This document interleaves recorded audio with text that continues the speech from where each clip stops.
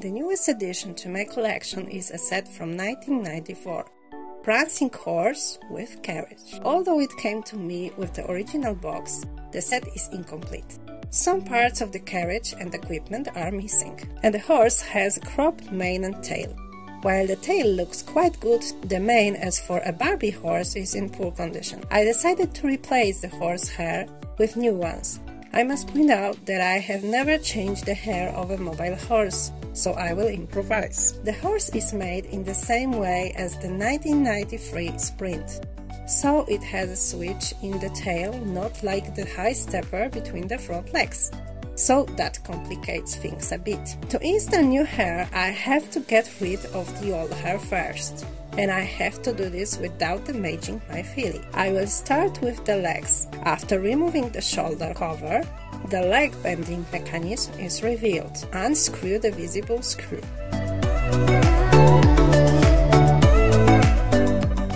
The leg could be easily removed. I'll take off the one on the other side in the same way.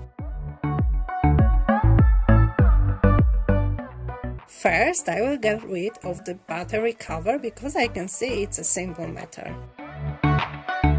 To remove the rear leg, you need to release the latch by pressing on the outside.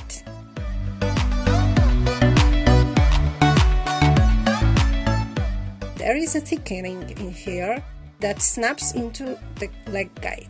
I am amazed, because this pin is quite solid, and I was so afraid it would break. After all, I have seen such horses more than once with their legs torn out. Oops, you got something here.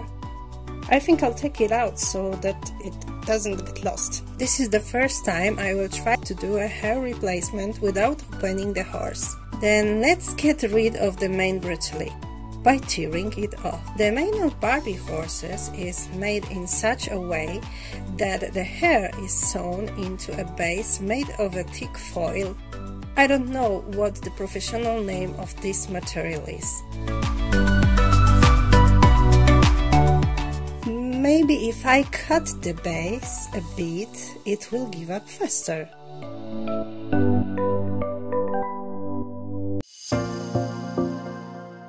Now I can see that the things are more complicated here. Inside the neck, up to the head, there is a pin on which the neck rests, and the base of the mane surrounded it. So it was kind of double compared to normal horses which is why it was so hard to pull it out. I wonder if I can get out any more of base remains. Let's try. Okay, I gave up. I can't get it out. Now let's see the old mane. It is made of two hair colors. There is the gold red on the outside and there is something like pink blonde on the inside. It's hard to tell exactly what are those colors because they're both weird.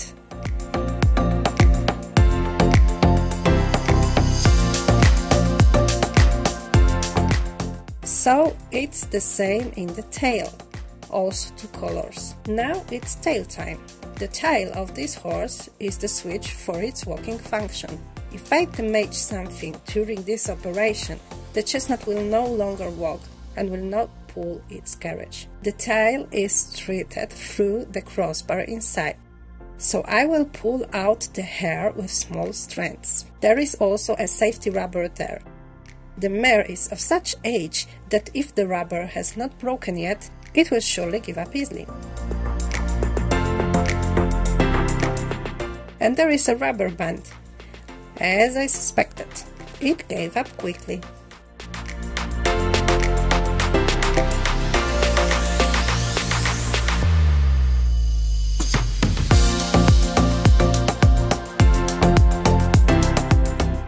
There is one more protection, I will cut it with a knife.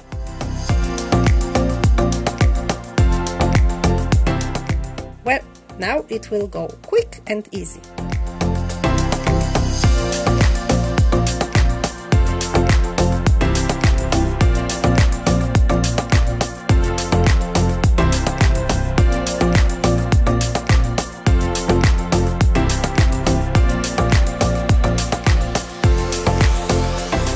This is what it looks like inside. There is a bar on which the tail was hooked. You can see it clearly. This is a tail and this is a mane. I won't play with the tail anymore, it goes to the trash.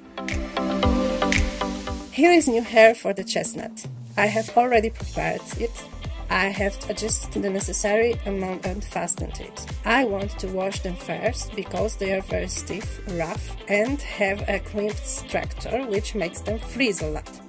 And they don't look very natural. I will wash them in warm water with a delicate fabric detergent. These are Kanekalon hair. For the first time I bought hair in a professional synthetic hair store. I ordered two colors and two types. The other hair is Hendon, and it more appealed to me with a touch and appearance. But I figured that light brown would be too sad for a chestnut. The red will give her a more aggressive character. I also didn't aim for a color similar to the original one. And while I had flashes like this, I didn't want light blonde either, because I already have a chestnut with light hair, my Cripple Star Stepper.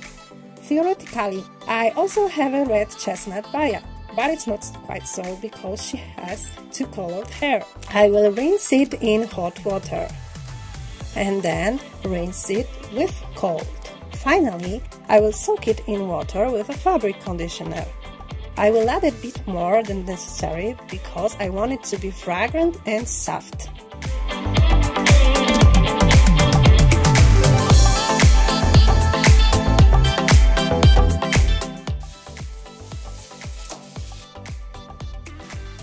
It makes quite an unpleasant noise when draining, but I can see it has fewer waves. As I have already mentioned twice, here we have this bar inside, through which the hair was intertwined. I would like the new tail to be mounted that way too.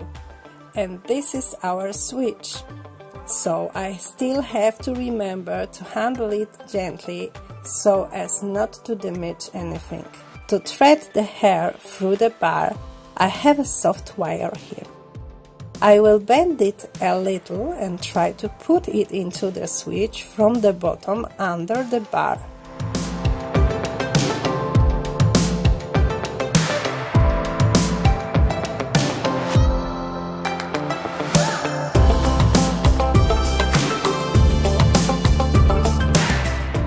I will help myself with a crochet hook to get the wire out.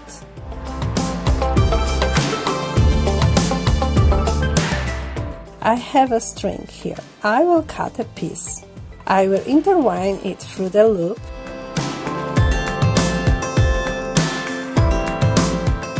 I will pull the wire to thread the string under the bar. I got rid of the wire. The string will be more plastic to intertwine the hair. After washing and drying, the hair becomes softer, more pleasant to the touch, smoother, and it seems lighter. So washing was a good idea. They were tied with ties for washing, but I have to cut them in half. So I'll get rid of the ties, and here's my mistake.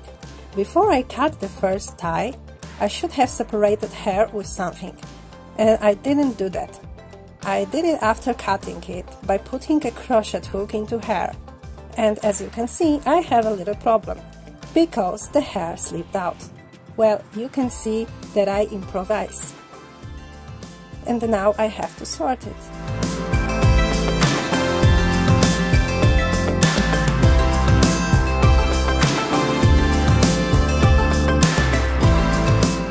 I just came to the conclusion that I could just move this one tie, not cut it.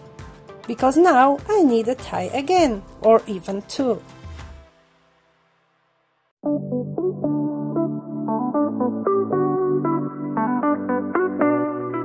Now I will fold hair in half again and cut it in half. My plan is that one part will be for the tail and the other part for the mane.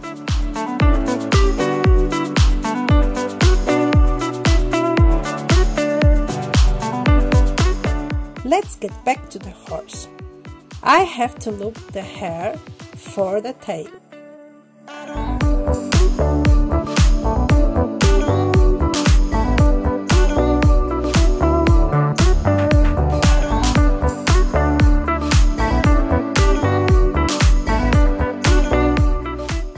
It's not that simple at all.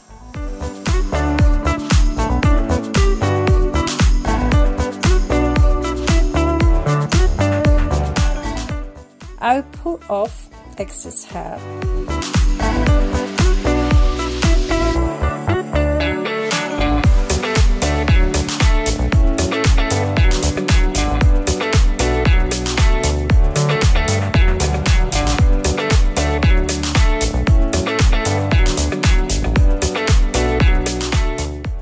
The camera got impatient and stopped recording my father's struggles.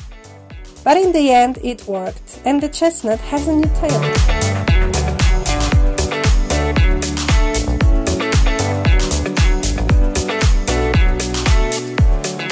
I said that I want the tail to be attached as the original, so I will secure it with a tether.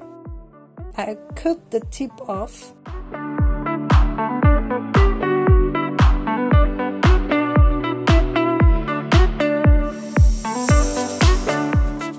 And now I'm going to put it inside like there was a rubber band in the past. And the tail is finished. I have some hair that fell off the tail here. I will separate thin strands from it. I do this with a very famous measure of size, which is 5 times an eye. After all, I will not play with counting individual hairs in the strand.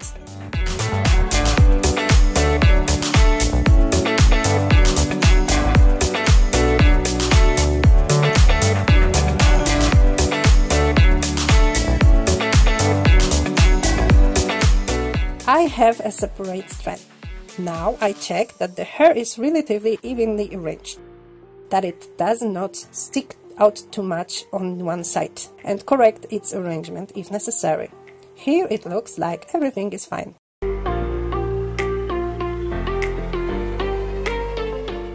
I have a thicker thread here. I'm cutting a piece of it. I grab the strand in half and thread the thread. Now I have to tie it, and to be sure, again.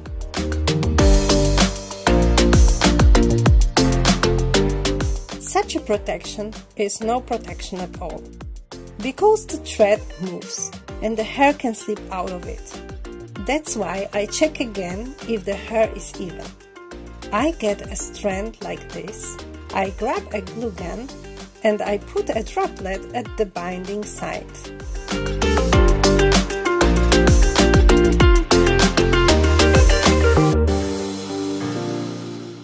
I wait a moment for the glue to cool down and harden a bit. I want it to go between the hair and join it. When it cools down a bit and is still plastic, I try to spread it around the strand and squeeze it. And I have the first strand of hair for the mane ready. I have to prepare the rest in the same way. My plan is to put these individual strands together to create a mane. I don't know how many of them I need or how many will come out, but for the mane to be lush, I would like to use all the hair that I have prepared. All the strands are ready. I tied all the hair that I have prepared. Now I will stick them together in places where they were glued before.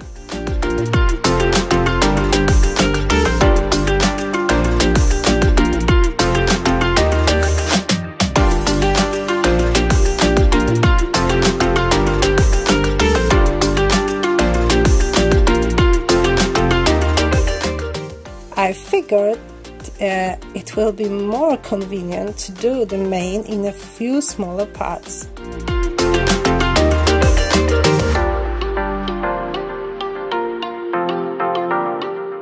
This section consists of 7 strands. I put it down and start another one. I turn the first section over and correct the joining of the strands. I can get rid of the threads from the first section. The joining is flexible and it's very good. It will be easier to mount the mane. All parts of the mane are ready. I decided to add a super glue to strengthen the joining of the strands.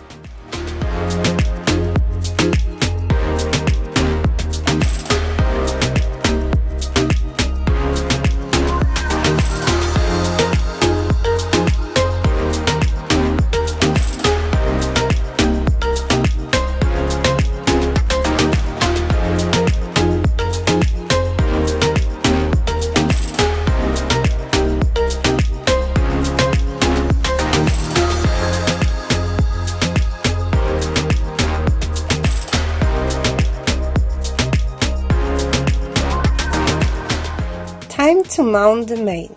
It will be easier because the lower joint of the neck broke when I tried to open the horse. I will widen the main slit with the plastic opening tool. Due to the fact that I applied the hot glue quite thick on both sides, a flexible bar was created that will lock the mane in a place. So I just slide the hair into the slit.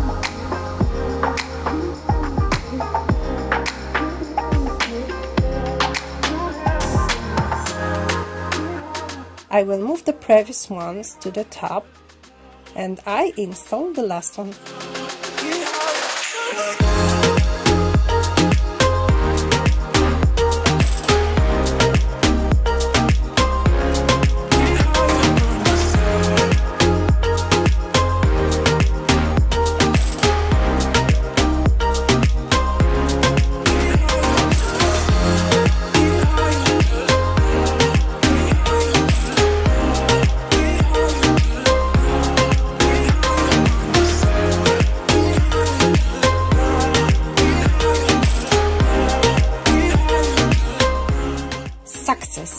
Have a new mane. And what?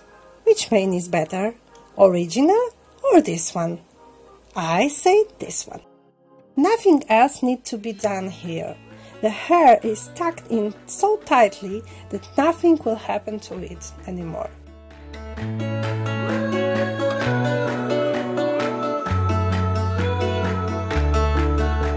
It's the time to put legs back on. First, the hind legs.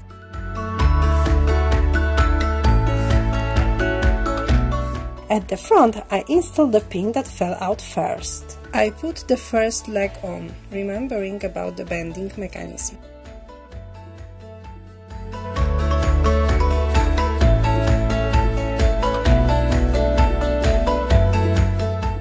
I tighten it with a screw.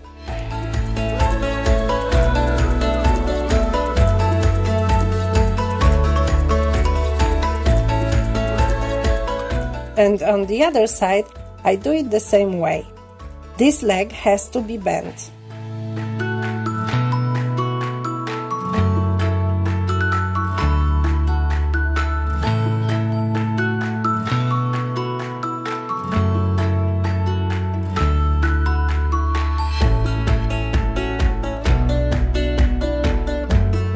I put both lids on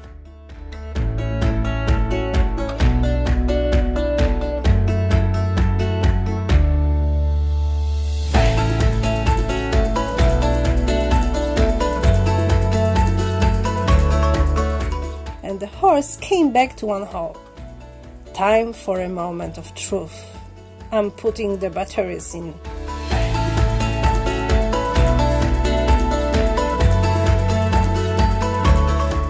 It walks. She walks, wags her head, so everything is okay. I walk all the time. I'm not walking. And I'm walking again. I am not working. Everything is working. The operation was successful. Well, here is my chestnut. And now it's time to brush out the new mane and tail.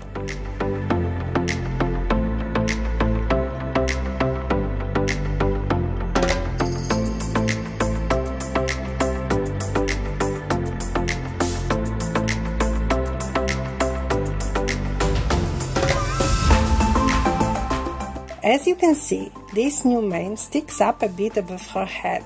I'll fix it in a moment. The mane can be remedied by my old hair curler with a brush-shaped tip.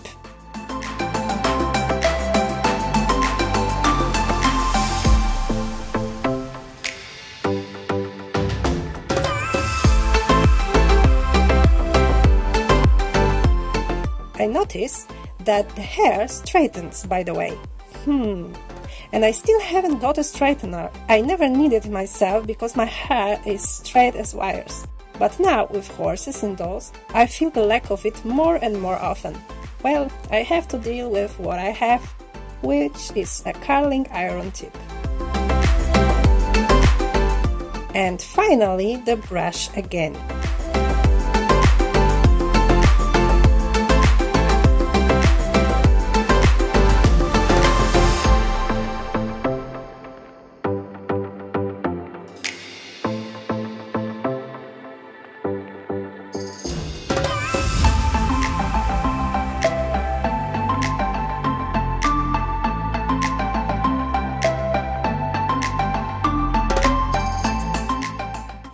Hair straightens so nicely, I also have to work with the tail a bit.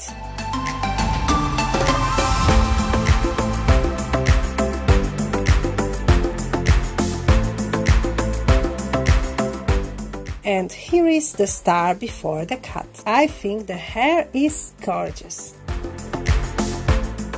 This is what the sisters look like. My Queenie or Sprint for comparison the original length of the hair and the chestnut mane is that much longer but I have no heart to cut it, at least not today. I just need to level it.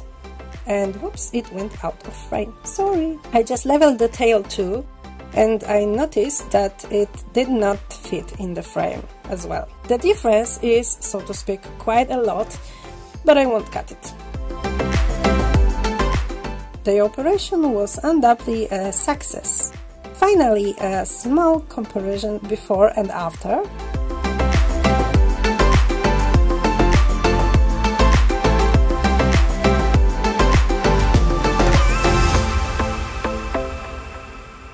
and a few outdoor shots.